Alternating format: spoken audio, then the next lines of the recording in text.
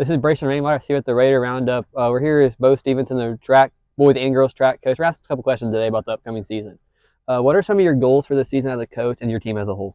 Okay, well, Braisen, thanks for for having me on. Um, in terms of goals this year, our, our goals are always, you know, we, we start with the team. You know, we want to be as successful as possible. We, we have meets, we, we always circle, you know, whether it be, you know, conference, county, sectional those sorts of things. And then individually, you know, we, we want kids, you know, trying new things. We want them to have goals, setting PRs, you know, all all good stuff that we work towards all year. Yeah, yeah. Um, do you have any newcomers who can make an immediate impact on the team?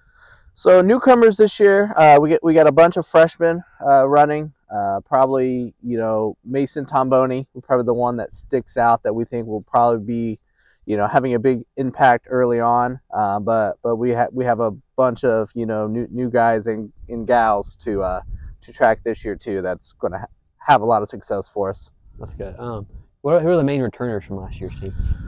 So on the girls' side, our two big point getters from last year are Kendall Thrasher and Amaya Carr. Um, they're both back. Uh, they're both indoor state qualifiers already uh, this year. They were both regional qualifiers, you know, last year, and I know both of them have really big goals for this season. Uh, boys side, top point getters would be Corey Lincolnfelder, Nick Cook, John Strock. All those guys scored a ton of points for us last year, and I know want want to win races, want to set PRs, want to get school records. So Yeah, yeah. excited for those guys. Yeah. Um, for you as a coach, what are like your main values? So main values, coaching, you know, you know, for track here, you know, I always, you know, like to emphasize, you know, just just showing up every day, having a positive attitude, uh, working hard, um, celebrating not only your success but teammates' success here, and I think that's that's good for just culture, um, growing, not just for track, but just life in general. Yeah. Um, for the team this year, what are the biggest strengths you guys will have?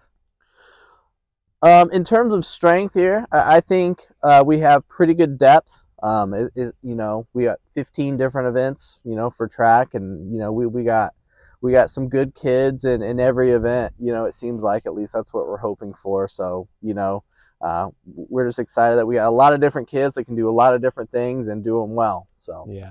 Um, so I'm guessing the season's coming up. When's the first meet and where is it?